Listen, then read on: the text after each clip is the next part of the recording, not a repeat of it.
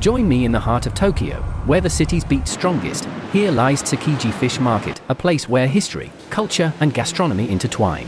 Today, we delve deeper into the rich tapestry of Tsukiji, exploring its historical roots, the intricate dance of its daily operations, and the culinary delights that have made it a global icon. Tsukiji's journey begins in the aftermath of the 1923 Great Kanto earthquake, which devastated much of Tokyo. In its reconstruction efforts, the government relocated the fish market from Nihonbashi to Tsukiji in 1935, creating what would become the world's largest fish market. The essence of Tsukiji lies in its remarkable structure and the seamless orchestration of its operations. While the inner market, with its famous tuna auctions, has moved to the new Toyosu site, the spirit of Tsukiji lives on in its outer market.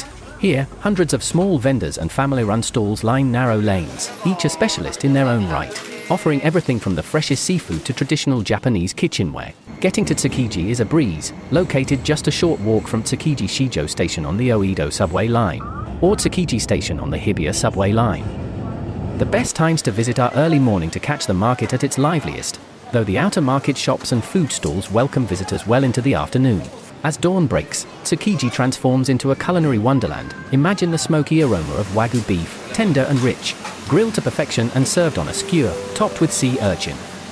Its creamy texture and briny ocean flavor offers a perfect, contrasting balance. Although tasty, it is quite expensive, so maybe you are better off saving it for a proper steak dinner.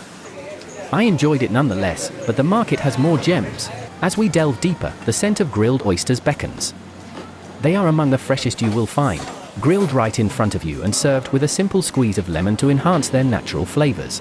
Stroll in among the alleyways, and we stumble to stands offering a variety of the legendary sashimi, sliced from the freshest fish. It offers a taste of the sea in its purest form. The market is also a treasure trove of Japan's agricultural bounty. Here, fresh fruit stands abound. From succulent strawberries to perfectly ripe melons, this is a reflection of Japan's meticulous farming practices and its reverence for nature's gifts. No visit to Tsukiji is complete without tasting their mochis. These rice cakes, soft and chewy, are filled with an assortment of flavors, from sweet azuki beans to fresh strawberries and smooth custard. For the adventurous eater, Tsukiji offers a glimpse into Japan's controversial culinary practices with its whale barbecue. While it may evoke mixed feelings, it's a part of Japan's culinary history. Tsukiji Fish Market is a living, breathing embodiment of Tokyo's past, present, and future. It invites us to explore, taste, and cherish the rich tapestry of Japanese culture.